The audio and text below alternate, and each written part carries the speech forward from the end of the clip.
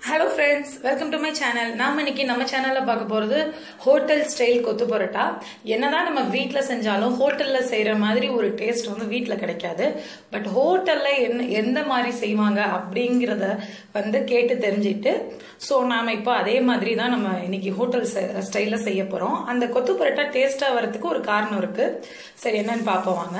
ஒரு பேனில் ரெண்டு ஸ்பூன் அளவு எண்ணெய் ஊற்றி ரெண்டு சின்ன வெங்காயம் கருவேப்பிலை எல்லாத்தையும் பொடியாக நறுக்கி போடுங்க.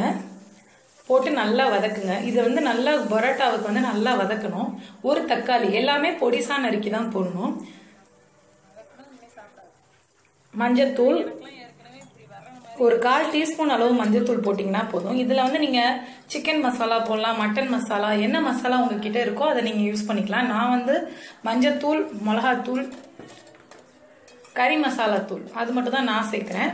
நீங்கள் வந்து சோம்பு தூள் அந்த மாதிரி எந்த மசாலா ஃப்ளேவர் வச்சுருந்தாலும் சேர்க்கலாம். பட் இந்த மசாலா வந்து கடையில் சேர்க்குற மாதிரி உள்ள ஸ்டைலுங்கிறனால நான் அப்படியே அதே மாதிரியே செய்கிறேன் இப்போ கொஞ்சமாக கறி மசாலா தூளும் சேர்த்தாச்சு. எல்லாத்தையும் போட்டு நல்லா கிளறுங்க. ஒரு முட்டையை ஃபஸ்ட்டு உடச்சி நல்லா ஊற்றுங்க நான் ஒரு பரோட்டா எடுக்கிறனால ஒரே ஒரு முட்டை எடுக்கிறேன். ஸோ ஒரு முட்டையை நல்லா உடச்சி ஊற்றி பாதி அளவுக்கு அதை வேக்காடு விட்டுருங்க. தேவையான அளவு உப்பு. ஃபஸ்ட்டே போடாமல் இந்த முட்டை போட்டதுக்கப்புறம் உப்பு போட்டிங்கன்னா முட்டையிலேயே உப்பு நல்லா சாந்துடும் ஸோ வந்து முட்டை கொஞ்சம் வெந்த மாதிரி இருக்கிற ஸ்டேஜில் உப்பு போடுங்க. இப்போ வந்து உங்களுக்கு அந்த முட்டை போட்ட முட்டை வந்து பொறி பொறியாக தனித்தனியாக வரணும். அந்த மாதிரி ஸ்டேஜில் பரோட்டா சேர்க்க போகிறோம் ஸோ இப்போ முட்டை வந்து நமக்கு தனித்தனியாக வந்துருச்சு. பரோட்டா ஒன்றை வந்து நல்லா குட்டி குட்டியாக பிச்சு இந்த மாதிரி வச்சுருக்கேன். ஸோ இப்போ பரோட்டாவை போட்டு நல்லா மிக்ஸ் பண்ணுங்க. இதை வந்து நீங்கள் ஒரு நைட் இப்போ பரோட்டா செய்கிறீங்க காலைல செஞ்சீங்கன்னா சூப்பராக இருக்கும் இந்த மாதிரி. ஸோ இந்த மாதிரி ஒரு டம்ளர் உங்ககிட்ட தட்டுறதுக்கு இந்த தோசை கரண்டி அந்த மாதிரி எதுவும் இல்லை. வாட்டமான இரும்பு தோசை கரண்டி வச்சு தட்டுவாங்க. இல்லைன்னா நீங்கள் இந்த மாதிரி டம்ளரில் தட்டிக்கலாம். அதாவது அடி வந்து ஒரே மாதிரி இருக்க டம்ளர் பாருங்க இந்த மாதிரி டம்ளர்ல வச்சு நீங்க ஃபாஸ்டா தட்டினீங்கன்னா எல்லாமே உங்களுக்கு ஒன்னோட ஒன்று மிக்ஸ் ஆயிரும். நல்லா உடஞ்சிட்டு சூப்பரா வந்துடும் இப்போ கடை பரோட்டாவில் செய்ய போகிற ஒரு விஷயம் தான் நம்ம செய்ய போகிறோம் நான் வச்ச குருமா கொஞ்சம் மிச்சம் இருக்குது ஸோ இந்த குருமாவை தான் நம்ம இந்த பரோட்டாவில் சேர்க்க போகிறோம் இந்த மாதிரி சேர்க்கறனால தான் கடையில் டேஸ்ட் ஆகுது கடையில் அவங்க வந்து என்ன குருமா செய்கிறாங்களோ அதை தான் பரோட்டாவோட சேர்ப்பாங்க. அவங்க மட்டன் குருமா செஞ்சால் மட்டன் சேர்ப்பாங்க. சிக்கன் குருமா செஞ்சால் இல்லை ரெண்டும் மிக்ஸ் பண்ணி கூட சேர்ப்பாங்க. நீங்கள் வந்து என்ன குருமா வச்சுருந்தாலும் ஓகே அதை இந்த பரோட்டாவோட சேர்த்து பாருங்கள் ரொம்ப டேஸ்ட்டாக இருக்கும்.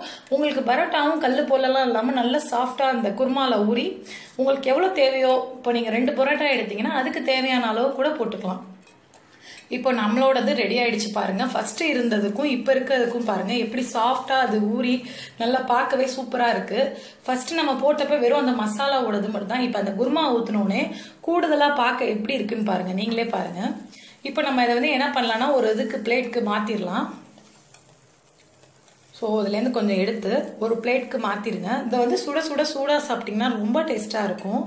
இப்போ நம்ம இதை வந்து ஒரு பிளேட்க்கு ஃபுல்லாக மாற்றுறோம் மேலே லாஸ்ட்டாக மல்லித்தலை பொடியாக நறுக்கின மல்லித்தலை மேலே போடுங்க. இந்த குருமா ரொம்ப சுவையாக குருமா ஊற்றுறனால இது ரொம்ப சுவையாக இருக்கும். பரோட்டா.